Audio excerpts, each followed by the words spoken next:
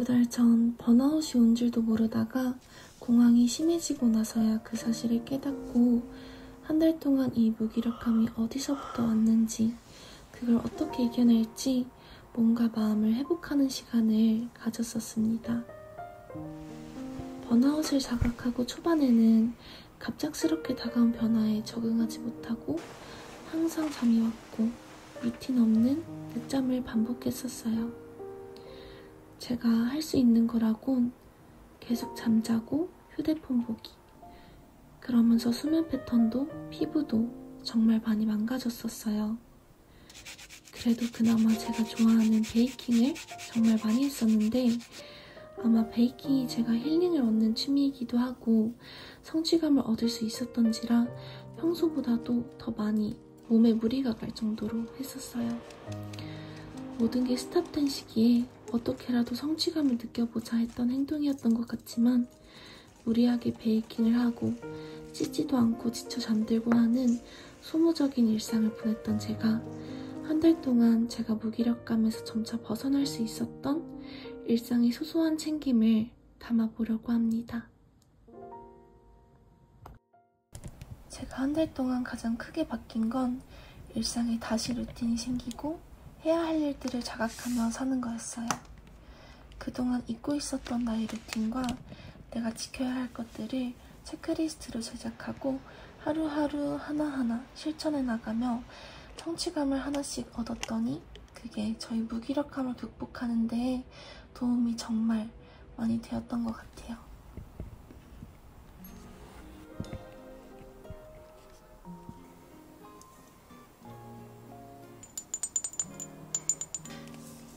요즘 헤어 오일을 이거 두 가지 쓰고 있습니다. 궁금해서 사봤는데 향이 되게 좋아요. 향이 진짜 꿀향기가 나가지고 음, 진짜 진짜 꿀향기 나요.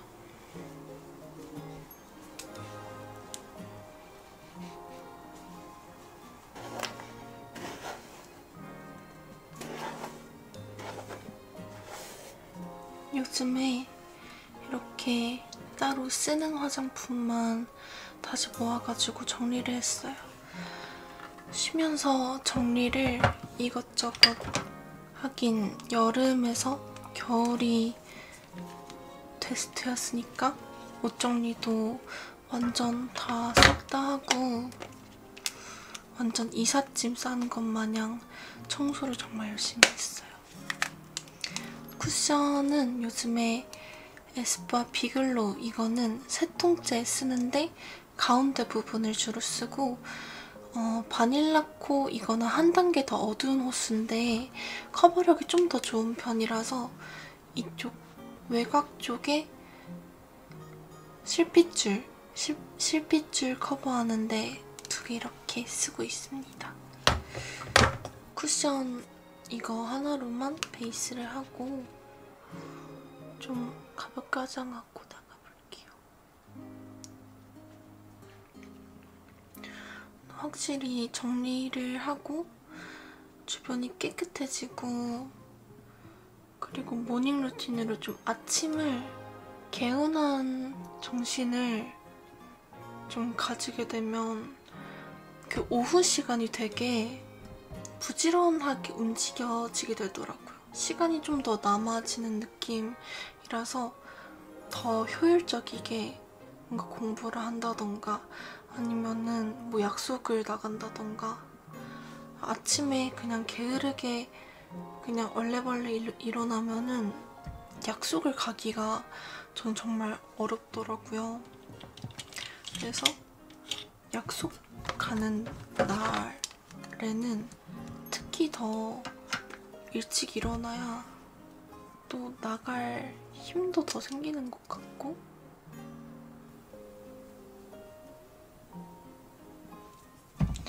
이거는 선물 받은 헤라에서 선물 받은 립인데 진짜 제 입술색이랑 거의 비슷하면서 한 한 달 전부터 잘 사용하고 있어요.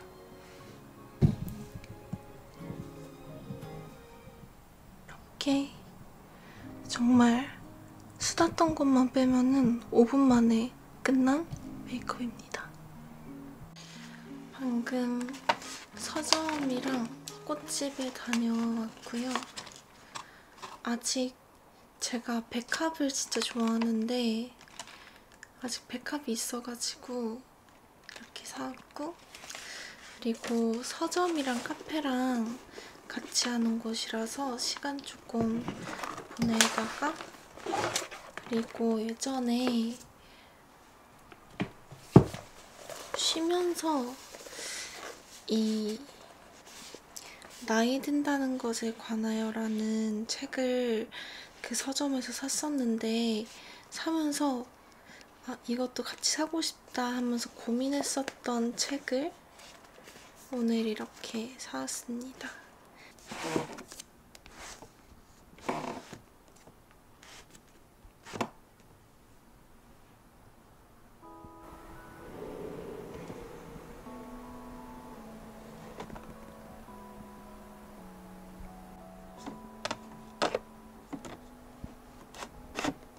이번에 이것저것 다 정리를 하면서 스킨케어도 종류가 진짜 많았는데 이렇게 정말 자주 쓰는 것만 이쪽에다가 모아서 또 정리를 해줬습니다.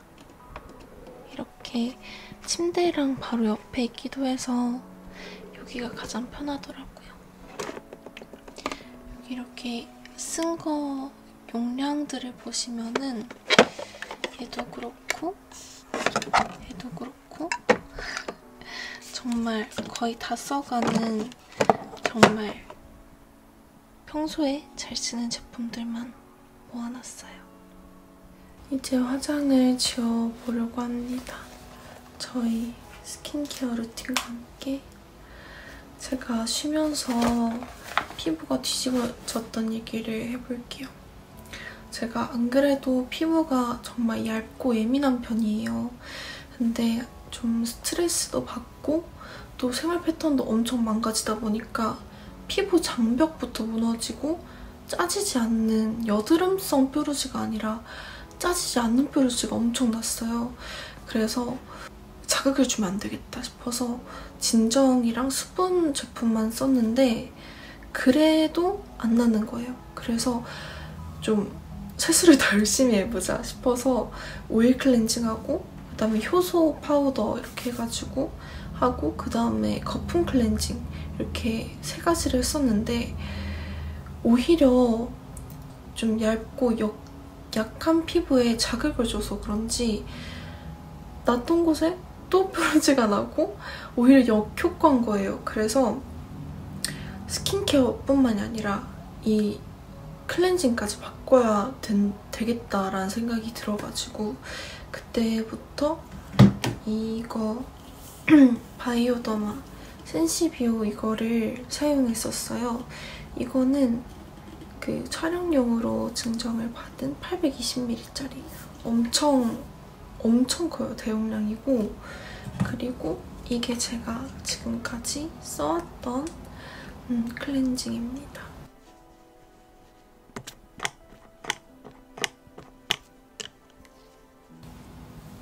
머리를 좀 걷어줄게요.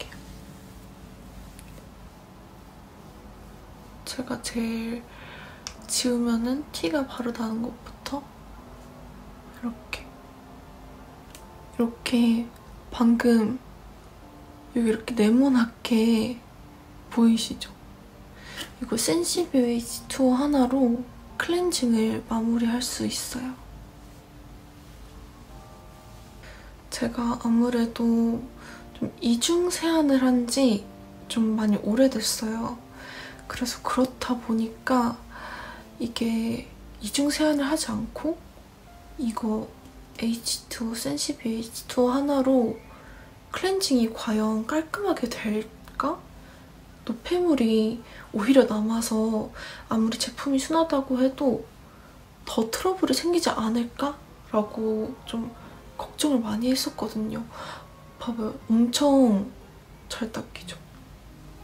지금 이렇게 보시듯이 너무 깔끔하게 클렌징이 되는 데다가 이게 최소 성분인 10가지 성분으로 이루어져 있대요. 근데 그 성분 중에 피부 장벽 강화를 도와주는 성분이 있대요. 진짜 저한테 너무 필요했던 기능인데 그래서 이거를 클렌징에서부터 피부를 건강하게 가꿔주는 그런 효과를 저한테 줘가지고 그냥 스킨케어만 바꾸는 것보다 확실히 많이 도움이 많이 된 것 같아요. 그리고 이게 화장솜도 엄청 부드럽기도 하고 이거 자체가 엄청 순하게 닦이면서 눈 화장까지 지금 좀 문질러서 빨개졌는데 이렇게 자극 없이 잘 닦입니다. 그래서 오히려 이렇게 클렌징부터 관리를 해주니까 클렌징을 이거를 쓰면 쓸수록 피부가 많이 편안해지고 건강해지는 느낌을 많이 받았었어요. 제가 좀 체질이 많이 변하면서 극건성이 됐거든요. 극건성인 저한테도 이게 그냥 물같이 닦이는 게 아니라 딱 닦고 보송보송하게 땡김없이 마무리가 돼요. 그래서 저도 엄청 잘 만족하고 사용하고 있어서 저처럼 민감성이고 피부 얇으신 분, 건성이신 분들 진짜 많이 추천드려요. 이렇게 세안, 세안 클렌징이 끝났습니다. 이 세 가지 어, 장벽 강화 수분 그리고 진정 이렇게 세 가지 제품을 발라주겠습니다.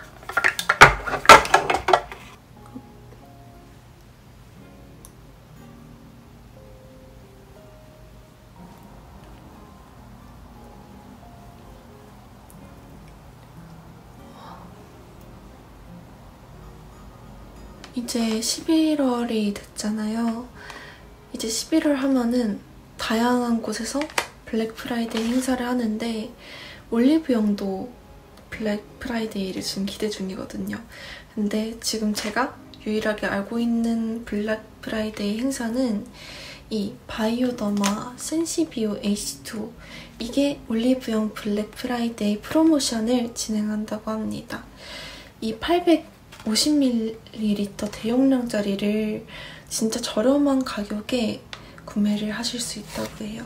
이 가격표는 띄워드리겠습니다. 이때 구매를 하시면은 온라인 구매 시에 100% 증정되는 이 대왕 순면 화장솜도 같이 증정을 해주신다고 해요. 근데 이게 이것도 진짜 커요. 이렇게 대왕입니다. 엄청 크죠? 이 바이오더마가 얼마나 오래됐는지는 잘 모르겠는데 제가 진짜 어릴 때부터 저희 어머니 화장대에서부터 본 그런 브랜드거든요. 그만큼 진짜 오랫동안 꾸준히 인지도랑 인기를 얻고 있는 제품이고 그 인지도와 인기는 제품력에서 나오는 거겠죠.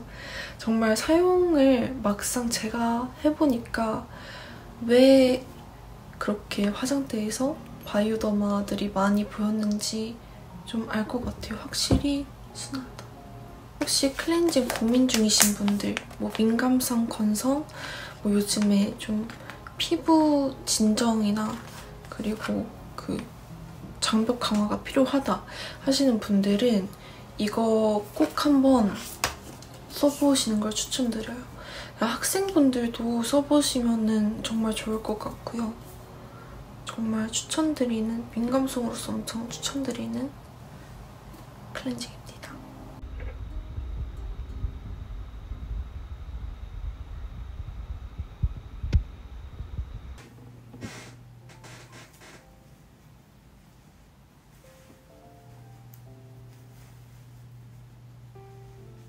이 영상을 찍는 기념으로 제가 정말 무기력함을 벗어나는데 힘을 많이 받았었던 음, 체크리스트를 다시 한번 영상에서 만들어 보려고 해요.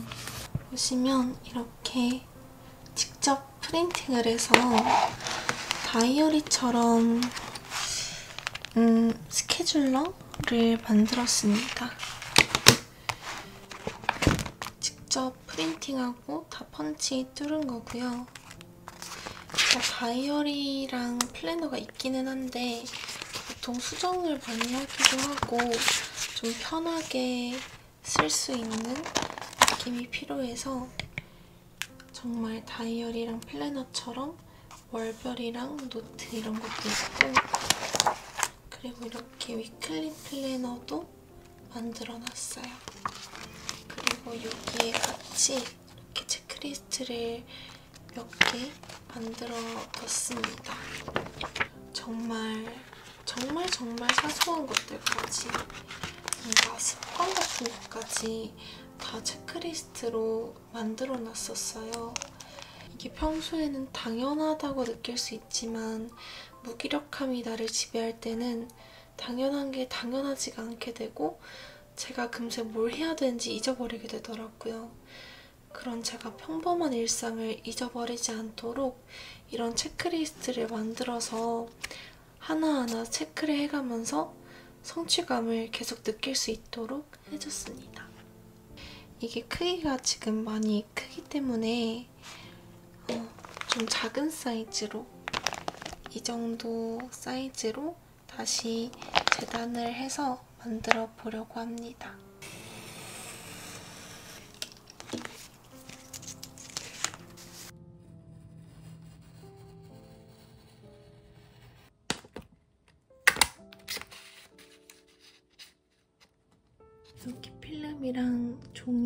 그리고 이 표지까지 다 재단을 완료를 했고요. 이렇게 달아주기만 하면 됩니다.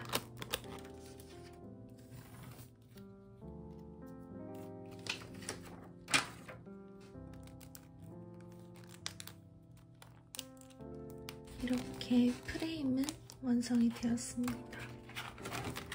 이제 이렇게 표지하고 여기 아래다가 적은 다음에 위에다가 이렇게 체크.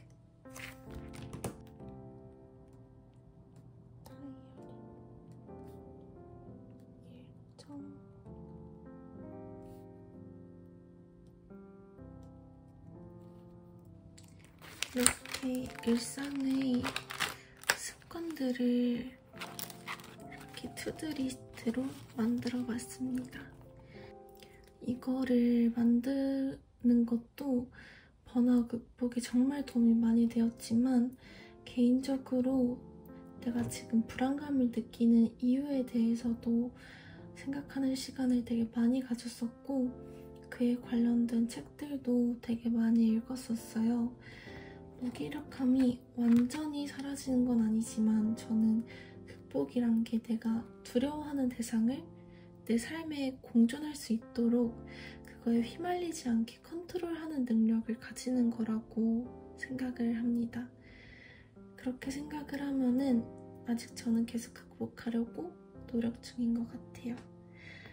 오늘 영상도 봐주셔서 정말 정말 감사드립니다. 다들 좋은 밤, 좋은 하루 되시길 바랍니다.